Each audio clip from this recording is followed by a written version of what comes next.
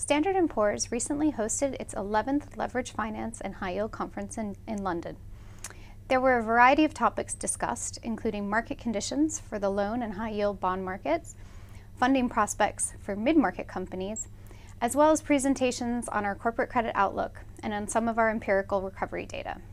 On this edition of Inside Credit, I'm joined by Paul Watters, Head of Corporate Research, and David Gillmor, Head of Leverage Finance Analytics, to have a discussion about some of the highlights from our conference. Paul and David, welcome. Thank you. Now, um, let's start by talking about the broad sort of you know market panel and, and what was discussed about market conditions. I mean, what was what was interesting to me was our panelists were saying that even though you know our conference was very close to when Ben Bernanke made his comments about um, tapering off of QE, that the market was still open despite the fact that market con- conditions were more volatile. And on the bond side, I think that's interesting because it's always been a sort of choppy market with a lot of volatility in terms of issuance windows. And on the loan side, we haven't seen as much sort of um, investor feedback for better terms and conditions and a subsequent response from issuers um, in that regard. So that's what, what I thought was, was initially very interesting. Absolutely. And one of the other interesting elements, I think, was the, the fact that the the institutional investors' um, buckets for high yield bonds in particular seems to have, seem to have permanently moved from the sort of zero to two percent range to the six or seven percent range. Mm-hmm. So I thought that w- that was an interesting point also, I think what was interesting is the discussion about was this move from bank debt to bond debt permanent or not? And I think the, the discussion about fixed fee floating was that a, a major element. Um, and how that it's not so much the fixed fee floating rates, it's more the uh, bank debt to bond debt being, being a more permanent feature. I thought, I thought that was interesting. Yeah, and disintermediation from Absolutely. sort of um, bank, you know, banks providing that to sort of more institutional investors. So, Absolutely. So it's yeah. hard. I mean, it's hardly even started yet. I mean, you know, mm. in, in the euro area, 86 percent of corporate debt is provi- still provided by banks. You know, as Andy Haldane said uh, recently, I mean, he, he describes Europe as a sort of banking monoculture. So, you know, yeah. this is this is a long-term structural change, al- albeit you know there will be sort of ups and downs within the uh, within the trend.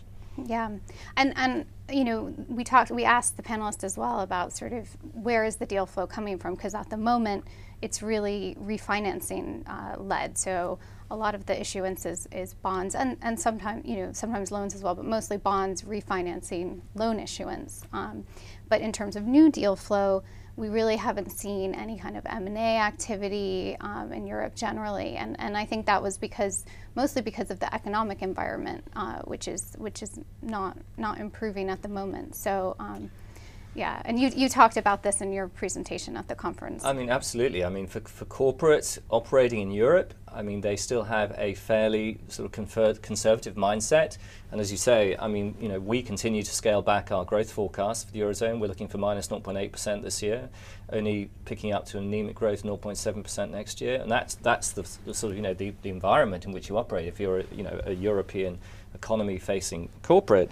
But uh, you know that translates into into um, you know what we see as continued weakness in, in, in credit quality. We still see you know downgrades um, dominating on balance within the sub-investment grade space, driven by you know declining covenant headroom, and you know we even, even saw until the you know the recent setback in the market, we were starting to see more dividend recaps. You know that was sort of driving you know credit quality down.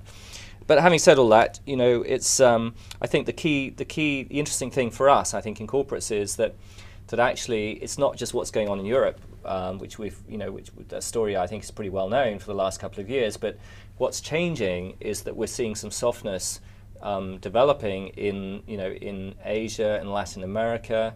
Um, relative to our previous expectations, and I think that is more challenging for some of the sort of more international rated companies that have previously been drawing great strength and support from, from you know, the strength, economic strength in those regions. So that's an area that we're watching pretty closely. Mm. I mean, from a liquidity standpoint, obviously most rated corporates stronger than B plus. I mean, they've really taken advantage of the conditions of the last few years in the capital markets to, as we say, as you've already discussed, refinancing bank debt. So liquidity isn't such a big issue for them but it's still a concern for us in the you know for the sort of mainly legacy LBOs that uh, many of which are private, which uh, you know which still have yet to refinance and may not be able to refinance. In you know in a more challenging environment if, if, if, if that's what plays out over the next sort of six months, nine months. That's a fair point. One of the interesting uh, stats from S&P LCD, which I think is still very, very important, is despite the choppy bond market and despite the concerns over their slight volatility, the issuance for the first six months of this year are still is already in excess of the whole of last year's issuance. So even though we're concerned about the the um, the choppiness of the markets, the issuance is still being incredibly strong. Yeah. So I mean, that, those are those are more well-established companies with public ratings that you know that tap the public markets. I mean, the other part of the conference that we we talked about, we talked about. Um, mid-market companies and, and I think one of the themes that we've seen in Europe uh, over the last um, year or so is that there's been it's difficult for certain companies to get financing whether or not that we're talking about core versus periphery um, or size of companies and so we, we talked at our conference about the fact that we've put out this um, new product called MME, Mid Market Evaluations, um, to, to help facilitate the development of a private placement market in Europe. So that was, you know, that was the other main theme. Absolutely. I think a couple of important points there. One was one of the themes that came through very strongly was the desire for keeping this a private market and, and, the confidentiality being a key element to that private placement market. And the other theme was, which I thought came through very strongly, was that this desire for some sort of um, depth of mid-market private placement um, uh, debt issuance, that desire has been there for many, many years. It's a question of how do they facilitate it. And I, I think the description of it is a, a market being like Gulliver in the land of Lilliput being held down by lots of little regulations. So no single means of releasing releasing the market. I, I thought was a, a nicely put uh, analogy because it, it, basically explained that it's not a simple market to, to, to get moving. And I think the whole point about the, if we can continue the analogy, the whole point about the MME product is as a benchmark, as a means to get a third party reference um, for those smaller or more, more interesting companies. Um, the aim is to kick away some of those strings to enable that giant to sort of start moving properly. Yeah, I, I, I, mean, there does seem to be appetite from, you know, particularly from the uh, insurance industry to try and develop a, a pan-European private placement market. Um, and this is very much in scope for the European Commission's recent consultation on long-term investment.